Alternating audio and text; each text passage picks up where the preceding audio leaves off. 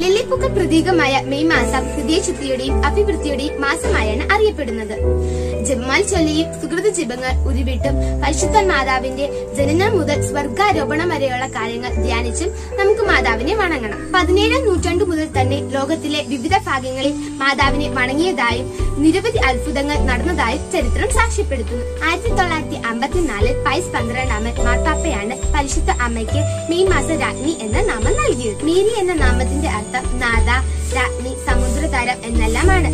പരിശുദ്ധ അമ്മയിലൂടെ നമ്മുടെ ഹൃദയത്തിൽ ഈശോ വരണം.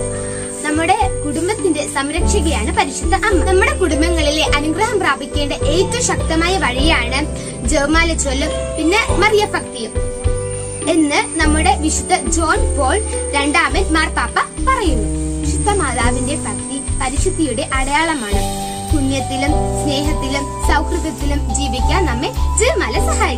മാസം നമ്മുടെ വീടുകളിൽ പ്രത്യേകമായി തന്നെ അൽത്താര ഒരുക്കി കുടുംബമായി തന്നെ ജമാല ചൊല്ലി പ്രാർത്ഥിക്കണം. കൊച്ചുകുട്ടികൾ മുതൽ മുതിർന്നവർ വരെ ഈ കാലഘട്ടത്തിൽ മദ്യം മയക്കുമരുന്ന് ലഹരി എന്നിവയിൽ മൊത്തം അടിമപ്പെട്ടിരിക്കുകയാണ് ഈ കാലഘട്ടത്തിൽ നമുക്ക് ചെയ്യാൻ പറ്റുന്ന ഏക ഒരു വഴി കുഞ്ഞു പ്രായത്തിൽ തന്നെ നമ്മുടെ കുട്ടികളെ ഈശോ ഭക്തിയിലും ജപമാല ചൊല്ലിയും പിന്നെ സുഹൃത ജപങ്ങൾ ഉരുവിട്ടും നമുക്ക് നമ്മുടെ കുട്ടികളെ ആ ഒരു ദൈവ ഭയത്തിൽ തന്നെ വളർത്തണം. നമ്മുടെ കുട്ടികൾ പാപങ്ങളൊന്നും ചെയ്യാതെ പരിശുദ്ധ പരിശുദ്ധാത്മാവിൽ തന്നെ നിറയുവാൻ പരിശുദ്ധ അമ്മ നമ്മെ സഹായി വണക്ക നാളിൽ പരിശുദ്ധ അമ്മയെ ദർശിപ്പിച്ചിരുന്ന സുഹൃതങ്ങളായ സ്നേഹം ദയ വിശ്വസ്തത പ്രത്യാശ സത്യസന്ധത ഇവയെല്ലാം നമ്മുടെ ജീവിതത്തിൽ പതിപ്പിക്കാൻ വേണ്ടി നമുക്ക് പ്രാർത്ഥിക്കാം.